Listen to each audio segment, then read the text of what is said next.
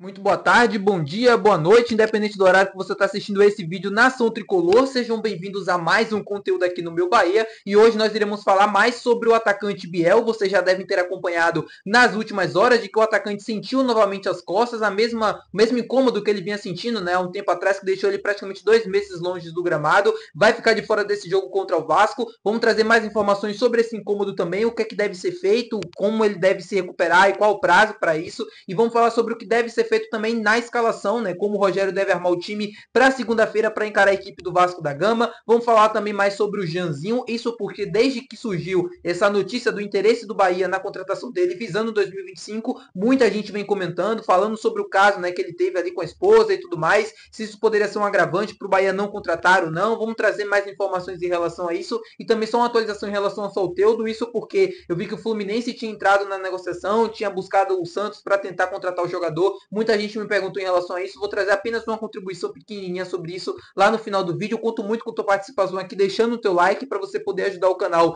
E também o nome do Esporte Clube Bahia, além, claro, de se inscrever. Se você gosta do nosso conteúdo, é muito importante que você se inscreva para sempre estar recebendo os nossos vídeos e participar do nosso sorteio. Assim que a gente chegar a 10 mil inscritos, vou sortear uma camisa do Bahia. Então vamos começar o vídeo para a gente não perder tempo, falando primeiro sobre a situação do atacante Biel. Como eu disse para vocês no início do vídeo, acabou sentindo novamente um incômodo nas costas, no mesmo lugar que ele teve a lesão anteriormente. E aqui vale destacar, né? O Biel sofreu essa lesão no jogo contra o Vitória pelo Campeonato Brasileiro, lá no Clássico Bavi. Desde então ficou um grande tempo se recuperando, mais ou menos dois meses parado, tratando a lesão. Voltou no jogo contra o Cruzeiro, voltou muito bem como titular, inclusive, o que foi uma surpresa para muitos torcedores, inclusive para mim. É, e é, a esperança era de uma continuidade no time titular ou algo próximo a isso, mas isso não deve acontecer porque o Bahia acabou divulgando no início dessa tarde também informações iniciais do Yuri Santana do canal do Puco de que o Biel tinha sentido novamente ali aquela mesma região é, nas costas, região lombar, e por conta disso ele vai ficar de fora, foi vetado do jogo por preocupação em relação à comissão técnica, ao departamento médico do clube também. Importante trazer informação aqui também complementando isso aí. O Biel fez exames nessa quinta-feira e a lesão que ele teve ali continua intacta. Assim, os exames não detectou uma nova lesão, uma nova fratura, qualquer coisa do tipo. Então, a preocupação que poderia apontar uma possível lesão, alguma coisa do tipo, nesse momento foi descartada. Mas, óbvio, existe a preocupação até porque,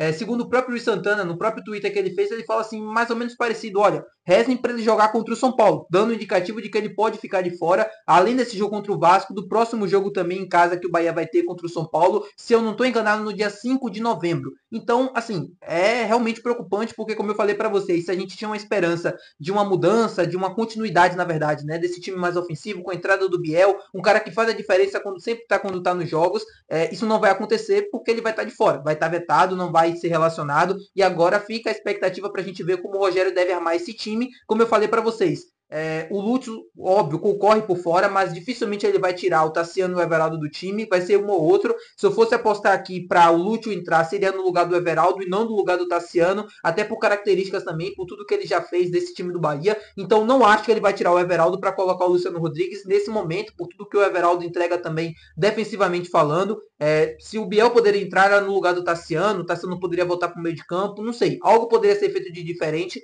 assim como ele fez no jogo contra o Cruzeiro, mas com o Biel no time titular. Isso não vai acontecer. Então agora minhas dúvidas é justamente em relação ao ataque. Se ele vai manter o Everaldo no time ou se ele vai manter o Luciano Rodrigues, se ele vai dar minutos a ele como titular ou não.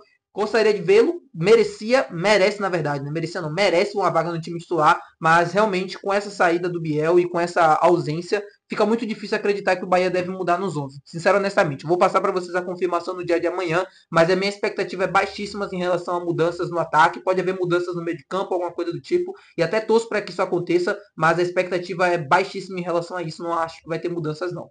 Vamos falar agora sobre o caso do goleiro Jean Fernandes. Isso porque eu trouxe ontem aqui no canal de que, segundo o repórter William Santos, o Bahia estaria monitorando a situação do arqueiro para 2025, já visando a próxima temporada. Uma contratação de um goleiro que tem ótimas características né, de jogo com os pés, ótimo goleiro também, sempre com ótimos números defensivos desde que chegou ao Cerro Portenho. E como eu trouxe ontem aqui no canal, vale destacar. O Jean está tentando se naturalizar paraguaio para tentar defender a seleção paraguaia. Ele é cotado para isso, tem um desejo também. Desde que ele chegou ao Cerro, se eu não estou enganado, em 2020 sempre teve ótimos números defensivos, sempre foi destaque nas competições sul-americanas, Copa Libertadores, Copa Sul-Americana também, é, sempre muito seguro, sempre assim, titular absolutíssimo lá no Cerro Portenho, um ótimo goleiro, é, de que segundo o repórter vai sair monitorando a situação dele para 2025. Fui atrás de mais informações desde o vídeo de outro que eu gravei para vocês, é, descobri que o Bahia ainda não entrou em contato com o Jean, com o empresário, com o staff, nem nada do tipo, mas de fato observa a contratação dele porque é um namoro antigo. Eu vou trazer mais e vou chegar mais nesse assunto, mas eu queria falar sobre o Jean,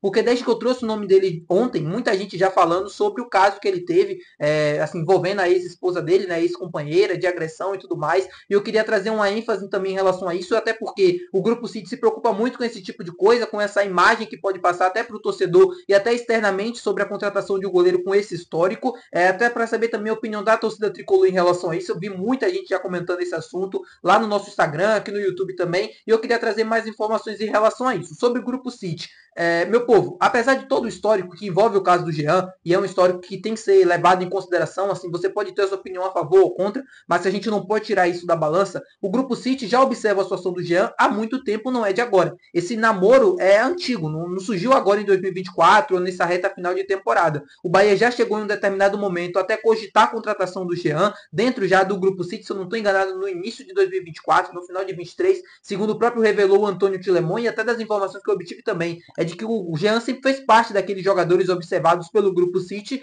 por se entender basicamente ali que ele faz parte dentro do estilo de jogo do time.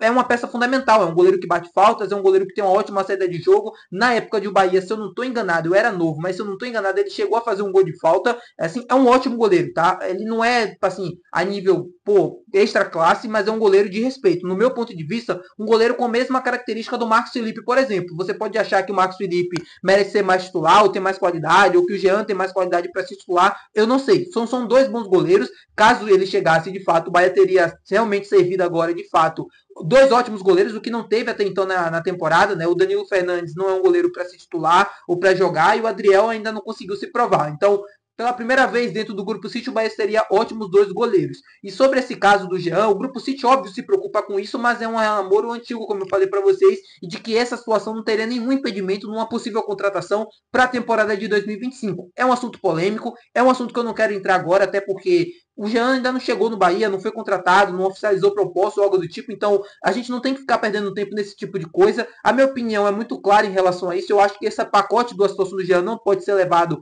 é, fora, não pode ser jogado fora, não pode ser tirado de contexto, mas eu acho assim, primeiro que eu sou favorável à contratação do Jean, caso ela aconteça. Eu acho que seria um ótimo nome, mas esse discurso de que ah, todo mundo já errou na vida não se cabe no caso do Jean. Todo mundo já errou na vida, mas ninguém saiu aí batendo ninguém ou alguma coisa do tipo, só porque, enfim, errou na vida, né? Não sei qual o motivo que levou ele a fazer isso. Não quero ficar julgando, não quero entrar nisso também, mas não é bem por aí, né? Não é ah, todo mundo já errou na vida. Não. O Jean, no caso, né, a, a ex-companheira não prestou queixa na época, se eu não estou enganado. Ele foi liberado, ele tinha sido preso, mas foi liberado depois é, pela Justiça dos Estados Unidos, se comprometeu a comparecer todas as audiências e tudo mais. Já se resolveu com essa questão. Então, assim, já, já acabou, né? A situação na, na vida do Jean já acabou, já se resolveu. Não quero ficar entrando nessa questão aqui e tal, porque ele, como atleta, deu a volta por cima e acho que no Bahia seria uma ótima oportunidade também para ele recomeçar dentro do futebol brasileiro. Ele saiu com a imagem muito manchada manchada por conta disso. É importante também a gente evoluir até assim esperar nessa né, continuidade dele de comportamento e tudo mais. Então vamos aguardar para ver se de fato vai ter alguma coisa, se de fato o Bahia vai, é, no caso, se impedir, né, se recolher nessa situação.